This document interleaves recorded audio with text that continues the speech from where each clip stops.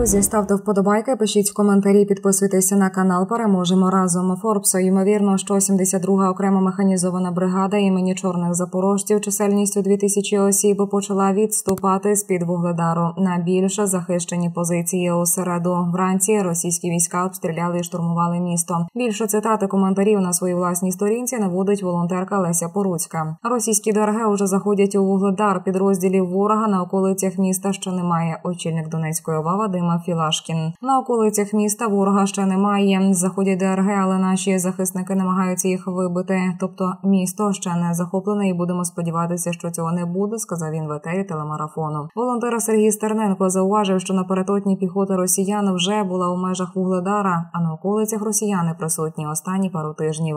За оцінкою українських військових і воєнкорів, ситуація у місті стрімко погіршується, що загрожує його втратою. На жаль, вугледара здавати свідомо. Це стало зрозуміло ще давніше. Коли кілька днів тому на самому піку наступу ворога Зеленський наказав прибрати командира легендарної 72-ї бригади Івана Вінника, все вже було вирішено остаточно. Визначена бригада залишилася фактично без ефективного командування. Ворог уже на крайніх вулицях Вугледара. Пригадуєте, як успішна оборона міста зірвала серця українців усі два з половиною роки. Тепер уже без варіантів місто буде здане, тільки би дали змогу нормально відійти бійцям, або виникла загроза оточення.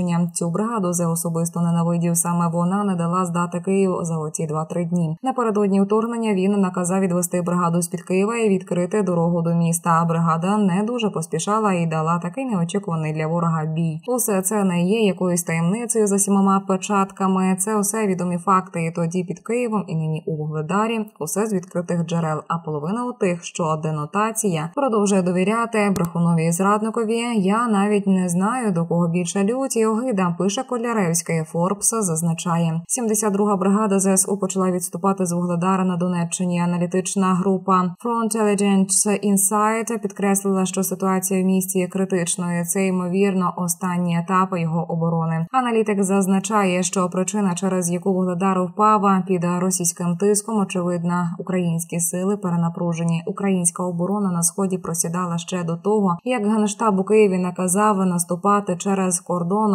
у область минулого місяця. А тепер вони просідають ще швидше. В той же час військовий з позивним офіцер зазначає, що до Вугледара нічого не коментуватиму стосовно заяви Форбса про ймовірний вивід 72-ї. Скажу лише те, що в такої преси є чимало інсайдерів, як на рівні рядового складу, так і на рівні вищого командування. Тому все може бути. Сподіваюся, вкиди цієї інфи ніяк не зашкодить пацанам, і вона буде подана відповідно підтримкою. А от телеграм-канал ТЗ Інформ підкреслює наступне: поки Вовочка прогулюється у США, 72-гу бригаду оточують у Вугледарі. Не почне відходити, оточать і буде як в Авдіївці. 72-гу бригаду продали вже втретє помста за врятований Київ. Коли був залужний, Вугледар героїчно відбився. Підтримавши, прийшов Сирський відразу або котел, або віддати Росії. Місто з такою назвою Українська та шахту Україна з із Сирським віддали Росії. В той же час офісне мишеня підкреслює наступне: не тільки росіяни штурмують, а й білоруси. Уже до 400 загиблих контрактників білорусів на тому напрямку захотіли легких грошей. Вони їх отримали посмертно. Пише телеграм-канал. Наші хлопці героїчно тримаються. Редакція каналу не несе відповідальності за висловлювання окремих політологів, політиків, експертів та анонімних телеграм-каналів. Голова у кожного своя висновки кожен робить і сам. До зустрічі друзі. Ставте вподобайки, пишіть коментарі, підписуйтесь на канал. Переможемо разом.